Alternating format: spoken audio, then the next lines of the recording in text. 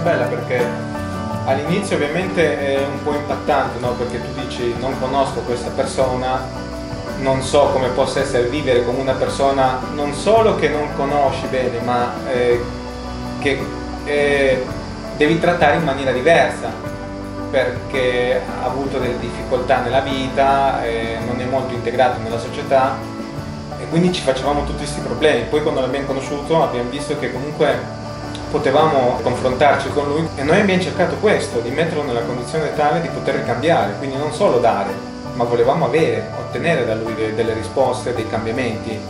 Quindi non è solo un aiuto che cerchiamo di dare noi a lui, ma è anche un aiuto che lui dà a noi. Parlo al plurale perché siamo io e mio fratello. Ovviamente nella nostra ignoranza, non è che abbiamo studiato filosofia, abbiamo studiato sociologia e quindi mh, mm, però abbiamo capito che era la strada giusta, insomma. All'inizio è stato un po' difficile per ambientarmi anche a, a vivere con qualcuno. Ero, stavo sempre da solo prima. Ero arrivato a un punto con le sostanze, col bere, ero arrivato a un punto che non mi interessava più del domani. Loro mi hanno aiutato molto e posso contare su di loro così come io sono disponibile per lui quando mi deve chiedere de delle cose, mi deve chiedere dei consigli, anche lui è disponibile per me quando io stacco dal, dal lavoro, dallo studio ed è lì per bersi, non so, un bicchiere di birra, andare a prendere un aperitivo. Lui, lui, è contento perché lui mi fa, io queste cose non le ho mai fatte nella mia vita, il fatto di stare in un gruppo in centro a bere un aperitivo con delle ragazze e in qualche modo anch'io mi sento contento perché perché riesco a, a immetterlo nella, nei rapporti sociali normali nella vita.